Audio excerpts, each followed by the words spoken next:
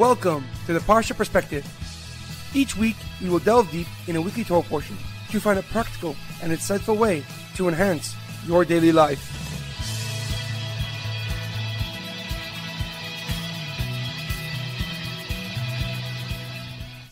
Thank you for tuning in. My name is Rabbi Shalom Yamini, and each week we'll look into the weekly Torah portion to find practical and insightful ways to enhance your daily life. This week's Parsha perspective is in honor of our homeland, Eretz Yisrael. May Kadosh Baruch Hu, may God protect our brave soldiers, and may God return all the hostages from Gaza immediately. This week's Parsha perspective is in honor of the Refuah Shalema of Rav Amitai ben Shoshana and Hinda Bas Ado. May they and all those who knew to experience have a speedy and complete recovery. This week's Parsha perspective is in loving memory of Edward ben Ephraim, Shlomo ben Edward, and Yechimah Daniel ben Gedalia. May their souls be uplifted and may their memory be blessing. Before I begin, the release date of this episode, the 22nd of Shvat, coincides with the yahrzeit with the anniversary of passing of Rebbetzin Chaya Mushka, the wife of the Lubavitcher Rebbe. Along with being the daughter of the great Frierdiker Rebbe, the previous Chabad Rebbe, she was the partner in any campaign or action the Rebbe undertook. And in her merit may we experience the ultimate redemption and the coming of Mashiach. This week's Torah portion is Parshas Yisro, the most capable leader. Our Parsha has the Aseres HaDibros, the Ten Commandments, making it one of the most significant portions of the Torah. Hashem himself came down the mountain and said the Ten Commandments, confirming that we are his chosen nation. Just six weeks after leaving Egypt, the Jewish nation arrived at the foot at Mount Sinai. Moshe Rabbeinu instructs them to purify themselves for three days in preparation for the giving of the Torah. They could not approach or touch the mountain, for it is holy and pure, and only Moshe and Aaron were allowed to touch it or be on it. On the morning of the third day, the shofar's piercing sound grew louder as smoke, thunder, and lightning covered the mountain top. HaKadosh Baruch Hu God descended on Har Sinai as a terrified and frightened Jewish nation gathered around its base. God then said the Aseres HaDibros, the Ten Commandments, to the trembling and traumatized Jewish nation. So overwhelmed, they turned to Moshe Rabbeinu and begged him to act as an intermediary, for God's holy and divine words were more than they could physically handle. And Moshe Rabbeinu agreed but responded, Don't fear God, for he has shown you himself, so that you fear him and not sin. However, a question comes to mind. Just prior to the Jewish nation receiving the Torah on Har Sinai on Mount Sinai, Yisro gave his son-in-law some unsolicited advice. He says to Moshe Rabbeinu that he should establish a system with judges and rabbis to answer the nation's questions and solve their disputes. Yisro reasons that Moshe will wear himself out and be unable to lead properly if Moshe does it all alone. He says, Va'ata sechazem mikol ha'am, anshe chayil, yirei elikim, anshe emes vasa. You shall seek out from the nation capable individuals who fear God, honest men who will hate bribes. But why did Yisro not add the criteria that judges should be smart and knowledgeable? How could they determine and adjudicate cases if they aren't learned and educated on Torah laws? Why didn't Yisro add that judges and rabbis must be Torah scholars to settle disputes and answer questions?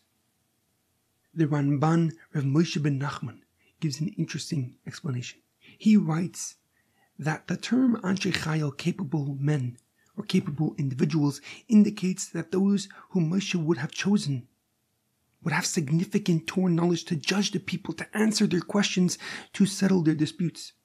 And they would be great Torah scholars with a deep understanding of the Torah laws, rules, and regulations that God set upon his chosen nation. According to the Ramban, the brilliance, the ability of potential judges is inherent to the qualifications of leading the Jewish people. He quotes Moshe Rabbeinu in Sefer Devarim, where Moshe recounts the requirements of leadership within the Jewish nation. Moshe Rabbeinu says, You shall pick men from each tribe, men who are wise, discerning, and experienced, and I will appoint them as tribal leaders. However, the Baal HaTurim, Rav Yaakov ben Asher gives a deeper and more profound explanation.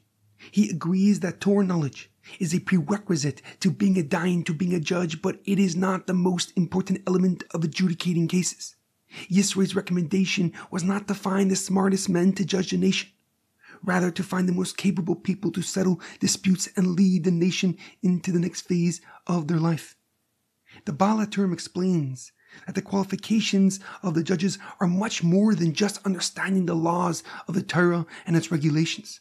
A proper judge first has an immense fear of God, and then be honest, capable, wise, and trustworthy. A dayan, a judge must always act and be above board and recognize that they represent something far greater than themselves. The term anshei capable individuals, is ambiguous only because it includes many characteristics. They must be God fearing, honest, wise, fair, and confident. They should pursue justice for the sake of justice alone and be an example for the nation to aspire to.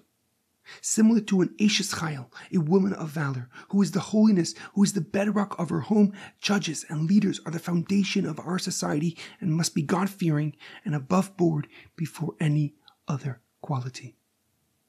This profound lesson in leadership is relevant as we reflect on the life of Rebbetzin Chaya Mushka, the wife of the Lubavitcher Rebbe, a beacon of modesty. Her life teaches us the profound impact of inner strength and quiet influence. As the Rebbe's wife and partner, Rebbetzin Chaya Mushka could have been immersed in fame, in admiration.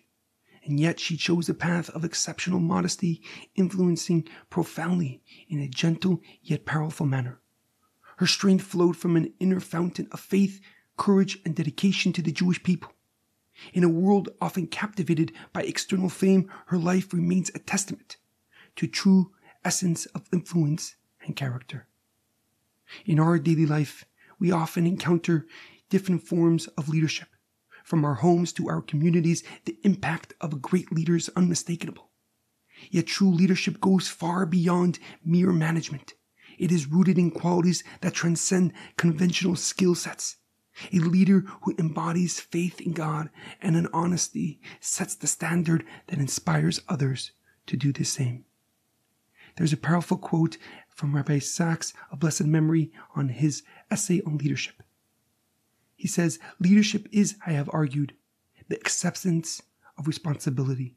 And therefore, if we are all responsible for one another, we are all called upon to be leaders, each within our own sphere of influence, be within our families, friends, or our communities, and together we will change the world. Have a great weekend and good Shabbos.